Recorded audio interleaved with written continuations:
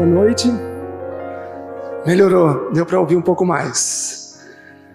Bom, é um momento de alegria para nós termos a oportunidade de mais uma vez estarmos aqui reunidos para adorar o nome do nosso Senhor Jesus Cristo.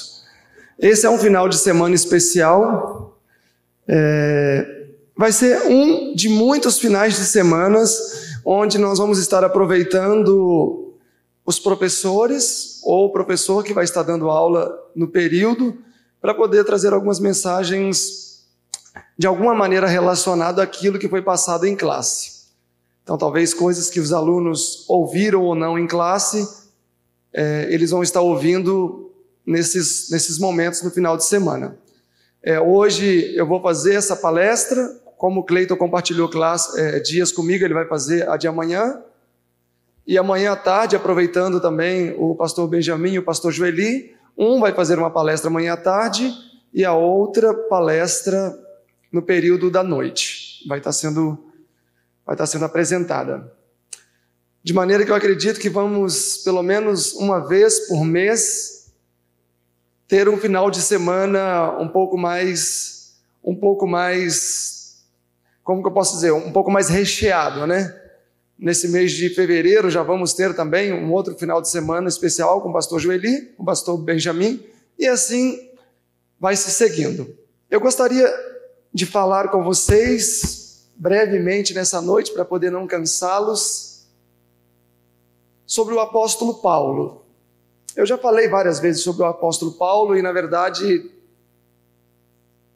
ele mesmo disse, né, em 1 Coríntios 11, 1, sede meus imitadores como eu sou de Cristo. Eu me inspiro muito na experiência do apóstolo Paulo. E eu gostaria de abordar com vocês nessa noite sobre a eficácia da palavra. Porque algumas pessoas tomam uma decisão e se tornam pessoas determinadas e chegam a fazer grandes revoluções, como foi o caso do apóstolo Paulo, que conseguiu praticamente dividir o mundo em dois. Foi decapitado por um César, mas se tornou mais famoso que todos os Césares juntos. Nasceu e viveu uma situação de abundância financeira, foi levado para Jerusalém, foi treinado pelo mestre Gamaliel, neto de um grande erudito Hilel, foi preparado para brilhar nos corredores teológicos dos seus dias lá em Jerusalém. Era rico, se tornou pobre. E nos seus últimos dias não tinha nem sequer uma capa para se abrigar do frio. Obrigado, Link e nem ninguém para lhe servir um copo d'água.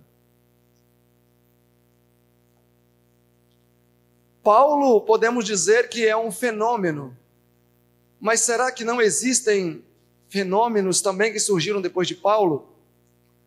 Tem alguém em nosso meio que tem 14 anos de idade? Se tiver, podia ficar de pé, se alguém tem 14 anos.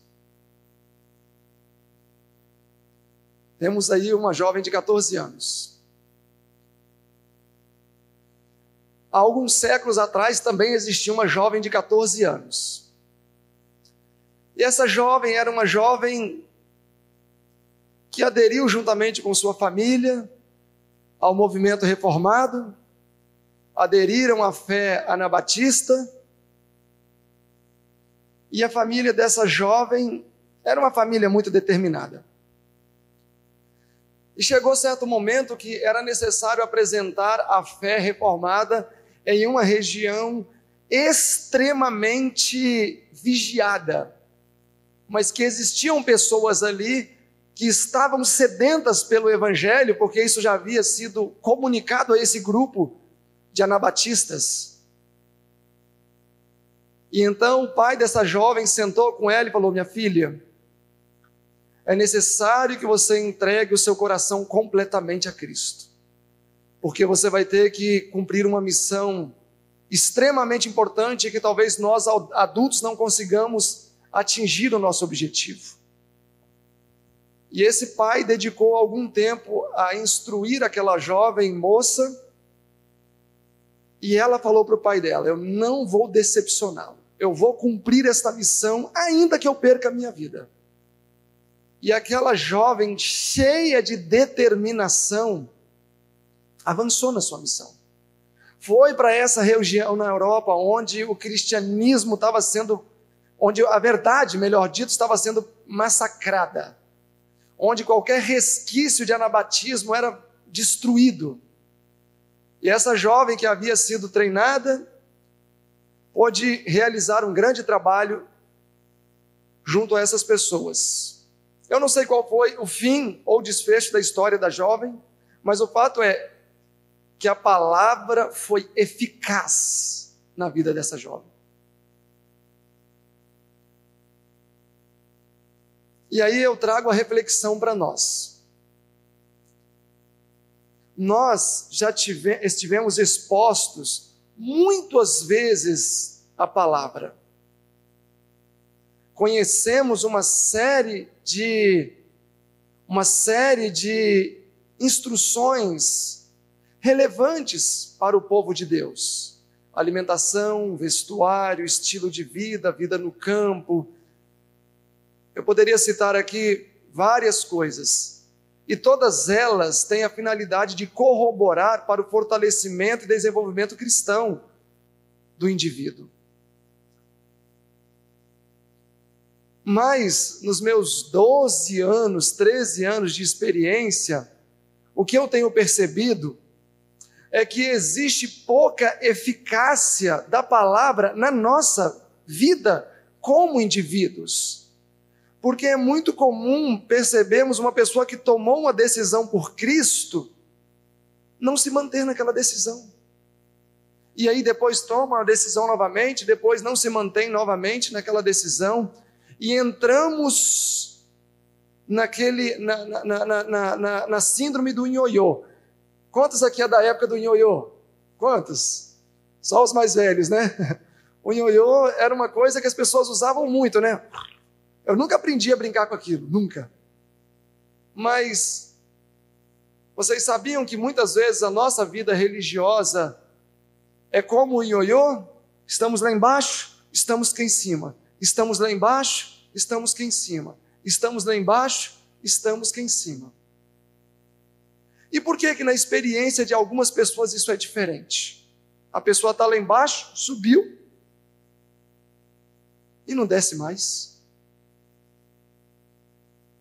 Um exemplo disso é o próprio apóstolo Paulo, assim como essa moça que eu mencionei agora há pouco. A vida de Paulo nos oferece um banquete de reflexão. Porque nos seus primeiros anos ele se tornou um perseguidor, um assassino, um psicopata. Na verdade, um serial killer, um matador em série. Um homem que talvez, segundo, segundo a mente humana, ou segundo até mesmo a nossa, a nossa visão, se fôssemos entender bem quem era Paulo antes de sua conversão, iríamos afirmar este homem está perdido, não há mais salvação para ele. Porque por menos coisas sentenciamos outros à morte eterna. Paulo era um homem que respirava morte, como diz o capítulo 9, verso 1. Saulo respirando ameaças de morte. Saulo era uma, uma besta selvagem. Um homem que tinha gosto de sangue na sua boca. que perseguia fisicamente, perseguia emocionalmente, como diz Atos 26, e perseguia psicologicamente, porque Atos 26 diz que ele forçava as pessoas a blasfemar. E quando elas blasfemavam, ele sentenciava essas pessoas à morte. Ele perseguia as pessoas mentalmente. Mas o que o que aconteceu na experiência de Paulo que fez com que um homem que era tão sanguinário, um homem que liderava não campanhas evangelísticas, mas liderava massacres. Aquele que era o principal perseguidor do cristianismo, tornara o seu maior seu maior defensor. Irmãos, se existe um personagem nas escrituras que nos, que nos evidencia o poder transformador da palavra, quando permitirmos, quando permitimos, é o apóstolo Paulo.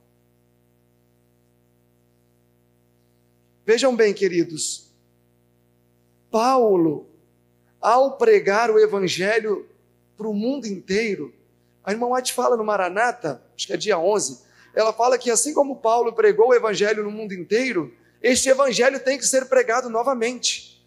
Então, as atividades missionárias de Paulo foi um tipo daquilo que deve acontecer nos últimos dias, onde o evangelho novamente vai ser pregado a todas as nações. Durante a semana estamos estudando um pouco sobre as cartas de Paulo. O Cleiton apresentou para vocês primeiro e segunda Tessalonicenses, Efésios, e eu apresentei para vocês primeiro aos Coríntios, né, para os alunos. E é interessante ver que, de fato, a autenticidade do evangelho que Paulo pregava não estava tanto na eloquência do seu conhecimento, porque quando ele tentou apresentar de maneira eloquente e intelectual o evangelho de Atenas foi um fracasso. Mas justamente existia poder quando ele apresentava de maneira prática, não só a cruz de Cristo, mas aquilo exemplificado na sua vida. Existiam os maiores resultados. A igreja de Corinto acusava Paulo. Quando ele falou o que acontecia por por detrás dos bastidores, quatro anos mais tarde, a igreja se converteu verdadeiramente tudo que ele sofreu por aquela igreja. Então eu gostaria de refletir com vocês um pouco nesta noite na história do apóstolo Paulo. Após a morte de Estevão, capítulo 8, verso 1, Paulo lidera uma grande campanha contra os cristãos. Capítulo 8, verso 1. E também Saulo consentiu na morte de Estevão. E fez naquele dia uma grande perseguição contra a igreja que estava em Jerusalém. E todos foram dispersos pelas terras da Judéia e de Samaria, exceto os, os apóstolos. Avançamos agora para o ano 35. Ainda bem que só teve um ano para ele atuar, porque senão ele teria dizimado a igreja. Capítulo 9, verso 1. E Saulo ainda respirava ameaças e morte, e mortes contra os discípulos do Senhor dirigiu-se ao sumo sacerdote e pediu-lhe cartas para que pudesse perseguir, perseguir os cristãos por onde ele foi. Nós estamos aqui no ano 35, havia se passado um ano. E o capítulo 9 marca a virada na vida deste homem. No entanto, olhem o capítulo 22 de Atos. Vamos ver ainda um pouco mais a face negra da vida de Paulo. Atos, capítulo 22.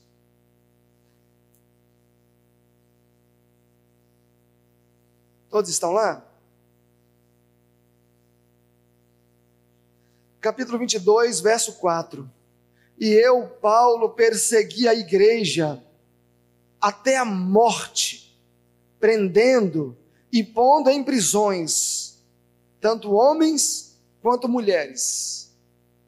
Como também o sumo sacerdote me é testemunha, e todo o conselho dos anciãos, e recebendo destes cartas para os irmãos, fui a Damasco para trazer amarrados para Jerusalém aqueles que ali estivessem, a fim de que fossem a fim de que fossem castigados. Olhem o capítulo 26. Capítulo 26, verso 9. Bem tinha eu pensado que contra o nome de Jesus Nazareno devia praticar muitos atos Verso 10. O que também fiz em Jerusalém, e havendo recebido a autorização dos principais sacerdotes, encerrei muitos dos santos nas prisões. E quando os matavam, eu dava o meu voto contra eles. E castiguei a muitos, muitas vezes por todas as sinagogas, os obriguei a blasfemar, a blasfemar e enfurecido demasiadamente contra eles, até nas cidades estranhas ou estrangeiras os perseguir. Irmãos, lendo esses textos, percebemos que o ódio do apóstolo Paulo contra o cristianismo era realmente algo que excedia o entendimento humano. Realmente, Paulo caiu num estado de loucura mental. Ele tinha sede de perseguir os cristãos, porque perseguindo os cristãos, ele sabia que estaria perseguindo quem? Indiretamente, no caso, o próprio Senhor Jesus. E por que que este ódio foi aguçado na vida do apóstolo Paulo? Por causa do testemunho de Estevão. Quando ele viu Estevão ser apedrejado, ultrajado e sofrer tudo o que ele sofreu, tendo o rosto brilhando como o rosto de um anjo, aquilo causou profundas impressões no coração de Paulo. Mas como o grande apóstolo Paulo poderia estar errado? Como ele poderia ter se posicionado no lado errado da história? Irmãos, Muitas vezes o Espírito Santo tenta falar ao nosso coração. Mas o que acontece? Temos vergonha, talvez, de reconhecer o nosso erro e nos obstinamos porque não queremos voltar atrás. Ou simplesmente não queremos dar o braço a torcer.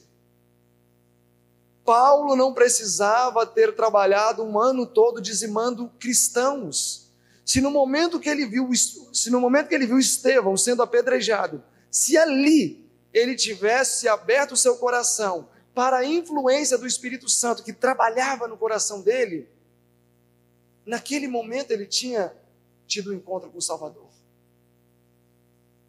Mas muitas vezes o orgulho ou o medo de expormos para as pessoas que estamos errados nos faz caminhar mais profundamente nos nossos erros. E como todos vocês sabem, este foi o antes da história de Paulo. Voltem aí a Atos 9.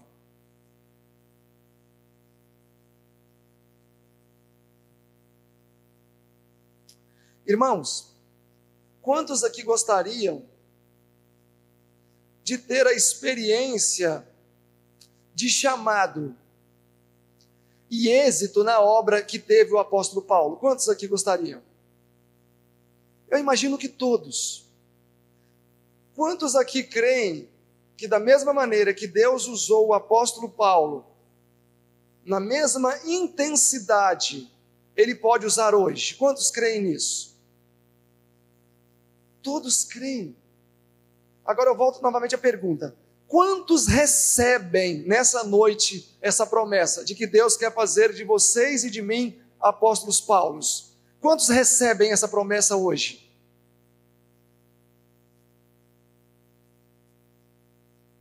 Capítulo 9, verso 5. Depois que Paulo cai, e ele disse: Quem é Senhor? E disse o Senhor: Eu sou Jesus, a quem tu persegues. Duro para ti é recalcitrar contra os aguilhões. Todos sabem o que é recalcitrar contra os aguilhões? Todos sabem? Quem não sabe o que é recalcitrar contra os aguilhões? Aguilhão é uma ponta de ferro. É uma ponta aguda de ferro. Recalcitrar é dar coices numa ponta de ferro. Então era isso que Paulo estava falando. Era isso que Jesus estava falando, que Paulo estava fazendo ele estava dando golpes com o seu pé nas pontas de ferro, que era verdade. Esta é uma, uma atitude de uma pessoa que desfruta de sanidade mental ou de uma pessoa insana? Uma pessoa insana. Então, o que Jesus estava falando aqui para Paulo é que ele estava em um período de insanidade mental. Quem é Senhor? Verso 9. E ele, tremendo e atônito, disse: Senhor, que queres que eu faça? Gálatas 1,16 diz: E quando fui chamado a trabalhar para os gentios, não consultei a carne e nem o sangue. Quantos querem ter a experiência de Paulo? Todos levantaram as mãos. Mas qual foi a atitude de Paulo diante do chamado que ele teve? Qual é a pergunta que ele fez? Ah, Senhor, eu quero estar na causa, mas eu quero atuar na área da música. Não, eu quero atuar na área da pregação. Não, eu quero atuar na área da saúde. Não, o meu chamado é atuar como professor de Bíblia. É isso que Paulo questionou nesse momento? Qual é a pergunta que Paulo fez? Qual? Que queres que eu faça? A vontade ali era de quem? De Paulo ou do seu Senhor? A vontade não era de Paulo, irmãos. A vontade era do seu Senhor. Qual é a sua vontade? Fala para mim que eu vou fazer. Gálatas 1,16 afirma que ele não consultou a carne, ele não consultar a carne ele não, ele não raciocinou, não, eu não posso aceitar isso porque eu sou um erudito, fui treinado com uma das maiores autoridades eclesiásticas de Jerusalém, não vai pegar bem para mim estar agora defendendo aquilo que eu atacava, a minha moral e minha reputação vai para onde? Paulo pensou essas coisas? Não. Irmãos, Deus tem um chamado para cada um. O problema é que muitas vezes nós não estamos preparados para esse chamado. Veja bem, se Deus tivesse que falado para mim, Silverino, você vai sair aqui dessa roça. E quem conhece a minha história, cadê a Vivian? Está por aqui? Rafa?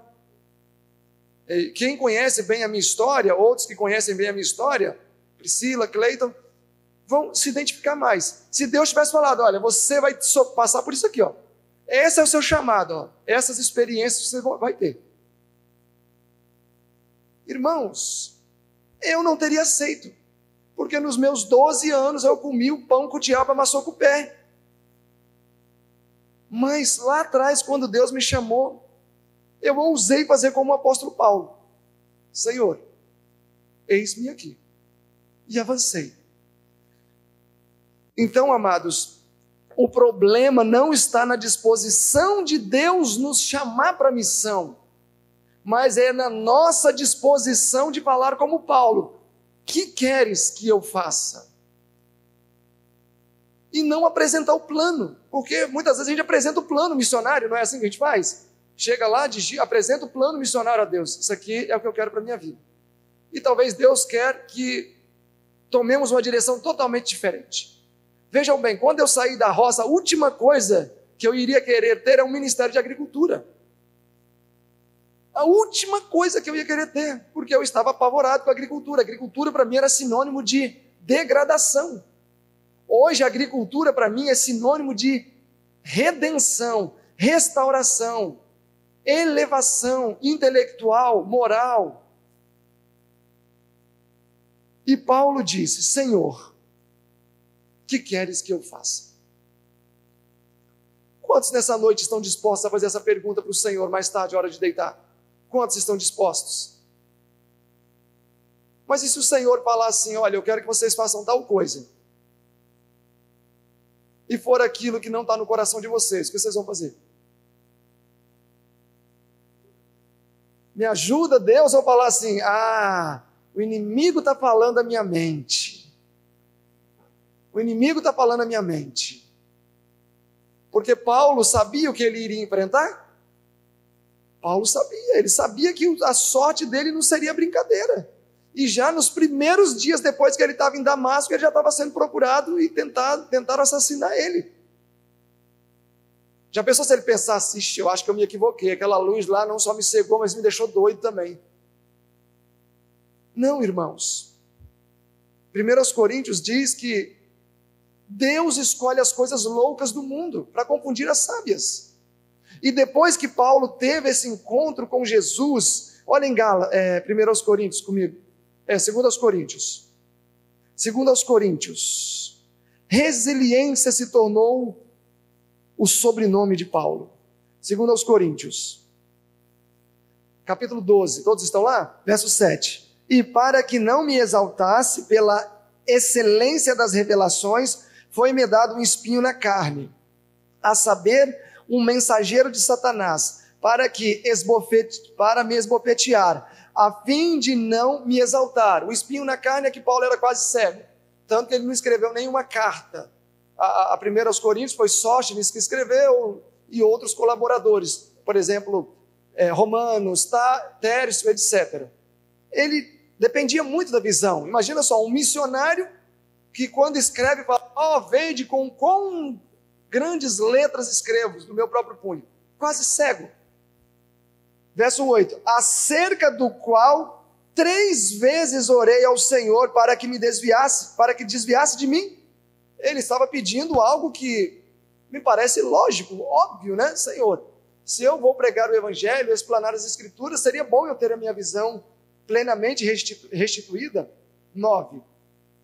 E disse-me: A minha graça te basta, porque o meu poder se aperfeiçoa na fraqueza. De boa vontade, pois, me gloriarei nas minhas fraquezas, para que em mim habite o poder de Cristo. Verso 10: Por isso, depois dessa informação, disse Paulo, tenho prazer nas fraquezas, nas injúrias, nas necessidades, nas perseguições, nas angústias por amor de Cristo, porque quando estou fraco, então sou forte. Irmãos, esse texto não expressa a loucura, é a eficácia da palavra. Paulo falou: Senhor, restitua a minha visão. Jesus ficou quietinho. Uma segunda vez, Senhor, restitua a minha visão. Ele ficou quietinho. Senhor, restitua a minha visão. Aí Jesus responde, fala, Paulo, é na sua fraqueza que eu me glorio. Poxa, Senhor. Ah, então tá, mas eu não vou falar nisso mais, mas seria tão bom eu ter minha visão de volta. Me faz tanta falta. Mas já que o Senhor decidiu assim, eu vou ficar quieto, né? Fazer o quê? Eu não posso fazer nada mesmo. Foi essa a atitude de Paulo? Claro que não. A hora que ele teve essa informação de que na fragilidade física de Paulo, Cristo seria exaltado, ele falou o quê? Então, eu vou me exaltar nessa fraqueza. Eu vou ficar feliz com isso. Irmãos, isso é a eficácia da palavra. Não é quando a gente murmura porque está vencendo a prestação de 300 reais e não tem o dinheiro para pagar. E a gente fica reclamando, Senhor, eu trabalho na sua causa, faço isso e aquilo, e os 300 reais para pagar a dívida amanhã que não tem. Isso é, é mediocridade. Olha só o cenário e a maturidade que Paulo alcançou. 1 Coríntios 4, 13, ele fala que ele chegou a ser considerado lixo. Como pode um homem que brilhava lá na decantada Jerusalém agora é considerado lixo? Escória, porcaria, e ele nisso se gloriava. Amados, Paulo, quando disse que já não vivo mais eu, mas Cristo vive em mim, e a vida que vivo agora, vivo pela fé no Filho de Deus, era o resultado de uma experiência madura com Deus. Paulo escreveu esse texto por volta do ano 58. Oito, cerca de oito anos mais tarde, ele viria a perder a sua vida. Nós estamos falando de Paulo em um momento em que ele estava amadurecido. Uma vida com Deus amadurecida. A senhora White diz assim quanto a Paulo: Paulo atingiu a plena estatura moral que um homem pode atingir em Cristo Jesus. Atingiu a plena estatura moral que um homem pode atingir em Cristo Jesus o livro Vida de Paulo, que a casa publicadora vendeu, vendia, no nosso não tem, mas eles colocaram um texto bônus lá na última página, que no nosso a gente vai colocar na próxima edição. Diz assim: que de todos os nomes citados nas Escrituras, nenhum nome vai brilhar mais do que o nome do apóstolo Paulo, o apóstolo dos gentios. Ele merece esse destaque? Com certeza merece. Porque Paulo nunca questionou nenhuma ordem de Deus na vida dele, quer seja aquilo agradável ou quer seja aquilo desagradável. Amados, Paulo entendeu a importância da cruz e a necessidade de nosso eu morrer no pé dessa cruz. Atos dos Apóstolos 246 diz: Quando Paulo via fraquejar suas forças diante do dever, dava a ele uma olhadela para a cruz e era novamente preenchido pelo Espírito Santo.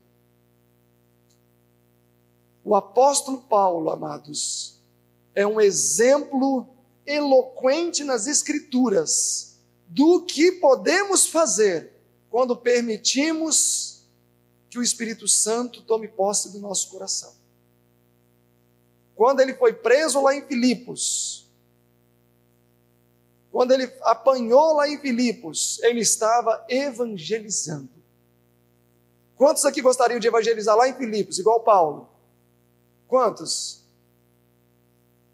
Gente, todo mundo aqui é missionário. Ninguém gostaria de evangelizar em Filipos, não? Ninguém? Ninguém se arrisca?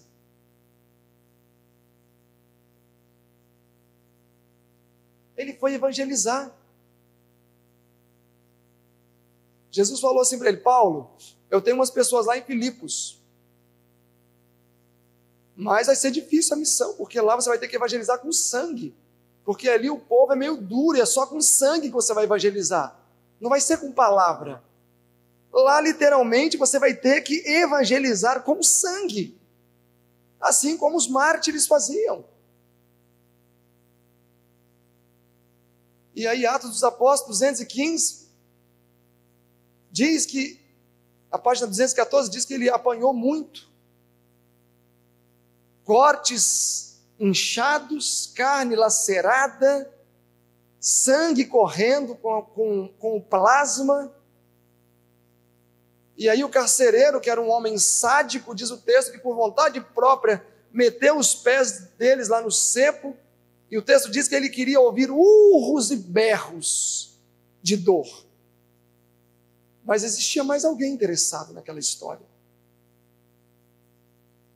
A página 215 diz que o céu inteiro parou para dar uma olhada. Agora eu quero ver se Paulo não vai reclamar. Agora eu quero ver se ele não vai reclamar. Irmãos, para mim, a história de Filipos é uma das maiores evidências do poder de Deus na vida de um ser humano. Porque, humanamente falando, ninguém revela o caráter que foi revelado ali, não. Ninguém revela mesmo. Aquilo ali é a união do poder divino com o esforço humano e o que pode acontecer com qualquer um de nós aqui. O universo começou a contemplar, os anjos estavam interessados, olhando. E aí, ao invés de se ouvir urros e berros veementes de pedido de socorro, o carcereiro começou a ouvir o quê? Louvor. Eu quero coral em Filipos, pode ser, Daniel? Hã? Começou a ver, ouvir eles cantando. E aí tem um texto fabuloso que eu vou citar de novo e não vou cansar de citar, e se eu for para o céu, vou citar lá também. Atos dos Apóstolos 216. Quando o carcereiro percebeu o que tinha acontecido, certamente ele saberia, ele sabia que sofreria uma morte vergonhosa, desembanhou a espada para dar cabo da própria vida. E diz o texto que Paulo, quando viu aquilo, intercedeu: Ei, não faças tal, todos estão aqui, apreciando a boa música. E aí o texto diz que aquele carcereiro entrou correndo lá dentro e pediu fogo. E queria ver que espécie de homem era aquele que estava pagando com o mal que fora tratado, dando bem, dando amor. E aí 216 diz, Atos Apóstolos, a severidade com que o carcereiro, com que o carcereiro tratara Paulo e, Silas, Paulo e Silas não causou rancor algum no coração deles. O coração de Paulo, o coração de Silas estava repleto pelo amor de Jesus. E não havia em seus corações espaço para ódio ou rancor, nem mesmo contra os seus inimigos. Nem mesmo contra os seus inimigos. Alguém aqui tem rancor de alguém? Não precisa levantar a mão, só estou perguntando retoricamente. Alguém tem rancor de alguém? Tentem pensar se você tem rancor de alguém. Tentem pensar. Vou pensar aqui se eu tenho rancor de alguém. Eu acho que eu tenho. Tá, eu pensei numa pessoa. Todo mundo pensou, né? Essa pessoa meteu vocês no cepo depois de ter fatiado as costas de vocês? Dentro de uma cela apodrecida? Tomara que não. Mas mesmo assim, tem que existir o que no nosso coração? estar tão cheio do amor de Jesus que não há espaço para outra coisa. Amados, isso é uma coisa simples. Se eu encho aquele copo de água até o limite, eu consigo adicionar mais água lá dentro? Não. Por quê? Porque está cheio. Então, por que que Paulo e Silas não tinham rancor nem contra o inimigo? Porque não tinha espaço. Isso é uma questão lógica. Se o copo está cheio, não tem como encher mais. O coração deles era tão cheio do amor de Jesus que não tinha espaço para mais nada. É por isso que ele alcançou a perfeita maturidade que um homem pode alcançar em Cristo Jesus. Amados, o que eu queria nessa noite é exortar a cada um de vocês, a mim também, para que nós não venhamos a ser duros diante da eficácia da palavra. Lembra a menininha de 14 anos? Ela foi embora, cumpriu a missão dela e não esmureceu na fé. Permaneceu firme, igual aço. Nós não podemos ficar reproduzindo a vida cristã em oiô. Hoje eu estou aqui em cima, amanhã eu estou lá embaixo, hoje eu estou aqui em cima, amanhã eu estou lá embaixo, hoje eu amo, amanhã eu odeio, hoje eu sou bom, amanhã eu sou ruim. Hoje eu faço orações que até as pessoas choram, amanhã eu não estou nem orando mais. A vida religiosa com tanta instabilidade causa acaba trazendo resultados danosos para o nosso coração, para a nossa própria vida espiritual. Nós precisamos ser consistentes nas nossas decisões. Especialmente os jovens que tomaram a decisão de estudar aqui, nós precisamos ser consistentes. Nós não podemos decidir uma coisa agora de manhã e à tarde estar tá tomando outra decisão, ou outra direção, melhor dito. Se nós quisermos colaborar com a obra final da pregação do Evangelho, como diz o grande conflito 606, assim será proclamada a última mensagem angélica.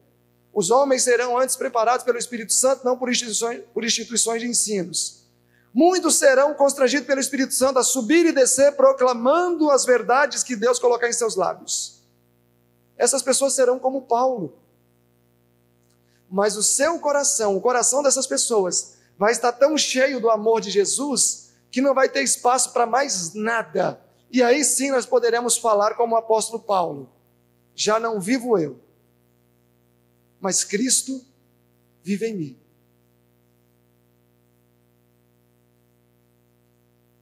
Não é, portanto, falar que nós vamos ouvir. Mas eu gostaria que todos pudessem ficar com essa reflexão nessa noite. Que a palavra tem poder. A palavra tem poder.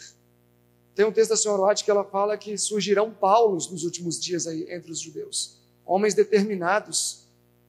E ontem eh, tivemos até um contato interessante de um rapaz, como é que era o nome do país mesmo, moça? Lá da Mauritânia, fica em algum lugar do outro lado do mar. E ele é muçulmano e vive numa cidade muçulmana. Ele falou: Olha, eu sou muçulmano, mas eu queria aprender sobre o cristianismo e queria estudar aí na escola de vocês. Imagina, essa escola foi para lá na. Como é que é? Mauritânia. É, foi para lá na Mauritânia. Sabe-se lá como. A gente começou a funcionar duas, há duas, três semanas. Mas já chegou a lugares tão longe onde um muçulmano quer vir estudar aqui. E vocês querem perder o lugar para o muçulmano, gente? Em vez de a gente sair apregoando o evangelho por aí, ele, determinado como são, avançar no nosso lugar? Creio que não. Então, que o nosso Senhor Jesus Cristo possa impelir cada um aqui assim como o Espírito Santo impeliu Paulo e Silas naquela noite, preenchendo todos os espaços do coração. Que cada coração nessa noite possa ser perfeitamente preenchido pelo poder do nosso Senhor Jesus Cristo. Nosso bondoso Deus, nosso querido e amado Pai que habita nos altos céus, queremos te agradecer por esta noite de sexta-feira, por esse início de sábado, te agradecer porque o Senhor nos deixou também biografias que, ainda que estejam distantes de nós no quesito tempo, não estão, entretanto, no quesito experiências. Que cada um de nós aqui possa ser inflamado pelo Espírito Santo e sermos tocados com a brasa do seu altar e que possamos ser impelidos a pregar a sua verdade. Acompanhe cada um aqui até o seu lar e amanhã que o Senhor também possa nos trazer para estarmos juntos já desde os primeiros momentos, desde o início, e temos um dia em Sua presença. É o que pedimos em nome de Jesus. Amém.